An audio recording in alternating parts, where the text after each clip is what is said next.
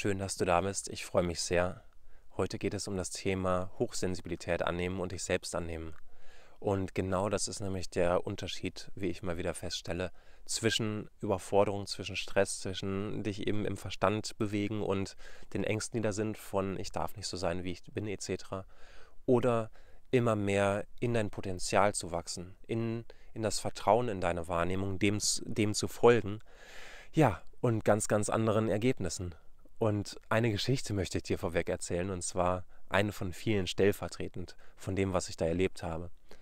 Das war in Indien letztes Jahr. Da bin ich mit AJ durch die Gegend gereist. Ist ein indischer Freund von mir, mit dem ich auch zusammengearbeitet habe da.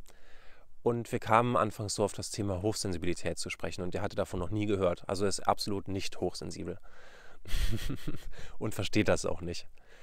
Und konnte sich dann auch, als ich ihm davon erzählt habe, nichts darunter vorstellen. Aber er hat dann seine Erfahrungen damit gemacht. Und zwar waren wir zum Beispiel unterwegs, hatten kein Handy dabei, mussten telefonieren. Es war wichtig auch in dem Fall. Und er hat dann auf der anderen Straßenseite einen Shop gesehen und äh, da stand auch Cellphone oder You Can Call oder was auch immer. Der meinte, ah, ich gehe da kurz rüber, ähm, dann kann ich die Sache regeln und alles ist gut. Ich hatte ein Gefühl von, nee, da kann man nicht telefonieren. Ich sehe auch das Schild, das steht zwar da, aber das kann man da gerade nicht. Hab ihm das auch gesagt. Ähm, meinte, du, mir kommt so vor, als ob man das da nicht kann. Und er meinte einfach nur, nee, nee, ähm, du wirst schon sehen, ich gehe da jetzt hin und mach das. Kam noch zwei Minuten zurück. Man konnte dann natürlich nicht telefonieren, weil das Handy gerade nicht da war.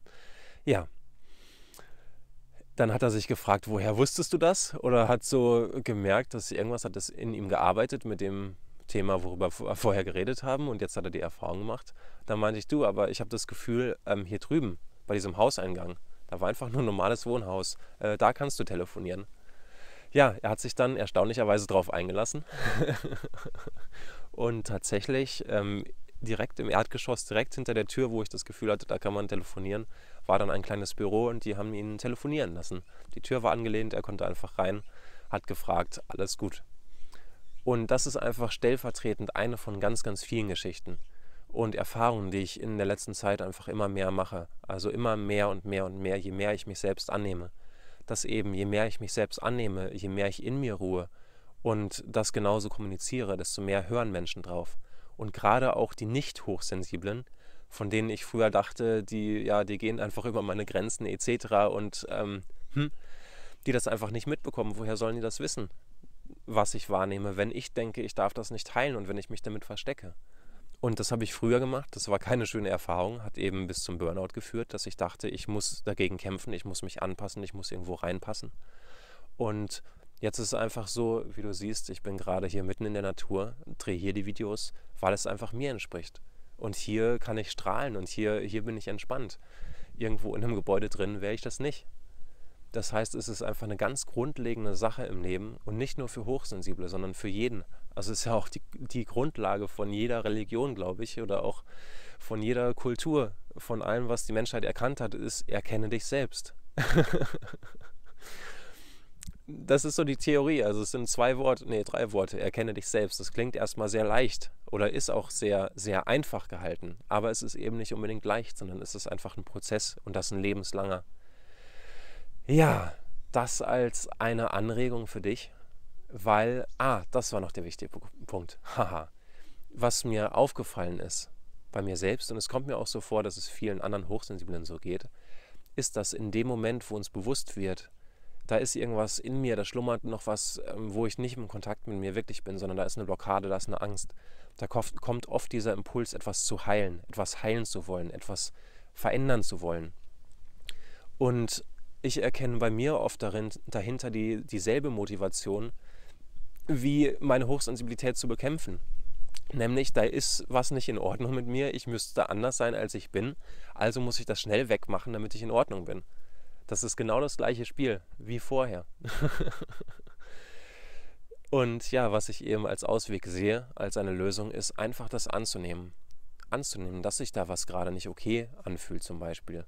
Anzunehmen, dass du dich nicht gut damit fühlst. Und für mich ist es bisher jedes Mal so gewesen und auch vor dem Drehen dieser Videos, dass in dem Moment, wo ich das annehme, dass eine Stimme in mir sagt oder dass ich das Gefühl habe, ich darf das nicht sein, in dem Moment gebe ich dem die Aufmerksamkeit, es entspannt sich und es erwächst daraus die Blume von Ich darf so sein. Ich darf da sein. Auch wenn ich es mir vorher nicht hätte vorstellen können. Es ist jedes Mal so. Ja, das für heute. Wenn du damit arbeiten möchtest, ich habe eine geführte Meditation dazu gemacht, die Meditation Hochsensibilität annehmen, die dich einfach in einen tiefen Entspannungszustand führt und wo ich dann ja dir verschiedene Impulse gebe, wie du einfach eine Reise zu dir selbst machen kannst und die dich dabei unterstützt, dich selbst anzunehmen, wie du bist, findest du unten die Beschreibung und mehr Details darüber, wenn du auf den Link klickst.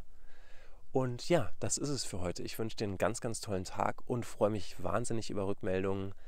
Hast du Erfahrungen gemacht, deiner Wahrnehmung zu vertrauen und was ist dabei rausgekommen?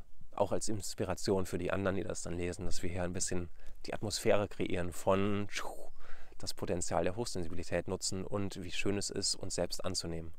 Ja, das für heute. Ich wünsche dir einen wundervollen Tag. freue mich, wenn du Interesse an der Meditation hast und alles, alles Liebe.